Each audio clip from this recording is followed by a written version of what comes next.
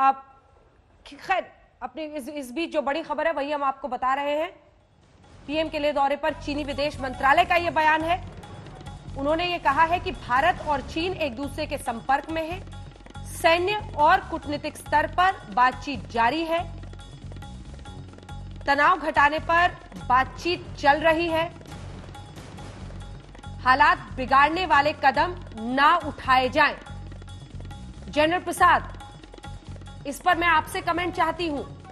और ऐसे वक्त पर जब अखिलेश जी कहते हैं कि चीन का नाम क्यों नहीं लेते, चीन का नाम क्यों नहीं लेते तो एक सेना अधिकारी के रूप में, पूर्व सेना अधिकारी के रूप में आप क्या कहेंगे इस पर?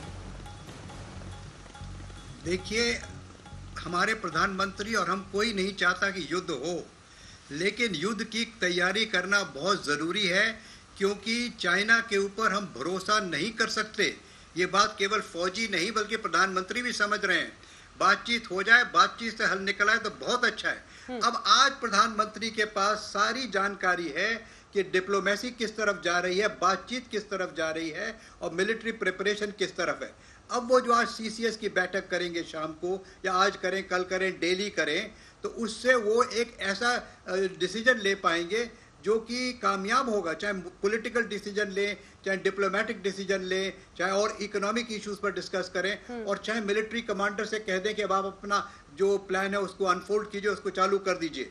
उन्हें आज यकीन हो गया कि मेरे जितने एलिमेंट्स हैं वो सब तैयार हैं और उनको भरोसा अगर हो गया होगा कि भारत सेना जो करना चाहती है, उसमें कर पाएगी और उसमें सफल होगी तो उसको उन्होंने ज़रूर आज कह दिया होगा कि आप इसको करिएगा, जब मैं आपसे कहूँगा। छोटी सी बात आपको मैं याद दिला दूँ, जब इन्होंने सर्जिकल स्ट्राइक किया था, आज से डेढ़ दो साल पहले भारत सेना ने तो उस समय प्रधानमंत्री ने एक एक उसकी डिटेल समझी थी। जो कमांडर्स उसको कर रहे थे, उनसे पहले बातचीत की थी, आपको याद होगा। वो दिल्ली में पूरी ब्रीफिंग हुई थी। और मैंने सुना है कि पूरी रात प्रधानमंत्री उस दिन सोए नहीं थे, जब तक ये पूरा सर्जिकल स्ट्राइक समाप्त नहीं हुआ था। तो प्रधानमंत्री, आज वो प्रधानमंत्री हैं जो कि केवल पॉलिटिकल लीडर हों, बल्कि वो पूरी बात को समझ के एक डिसीज़न ले रहे हैं। और वो आज जो मिलिट्री हालत है, उसका पूरे से, अब किसी हमारे मिलिट्री कमांडर ने कहा होगा, जी, मैं अटैक कर सकता हूँ। तो उन्होंने पूछा होगा कि इसकी कितनी परसेंट सक्सेस है आपकी?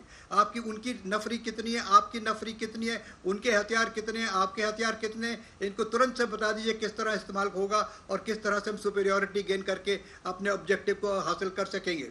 तो ये सब बात का उन्होंने ज्ञान ले लिया है। आज गए इसी मारे हैं। बाकी सब चीज़ें तो बड़ी अच्छी हैं। उन्होंने हौसला अफजाई किया और हमारे जवानों को देखना भी ज़रूरी है कि प्रधानमंत्री यहाँ आए हैं। उन्होंने बातचीत की हमसे। तो हमें अब देश के लिए बिना किसी शंका के लड़ाई करनी है।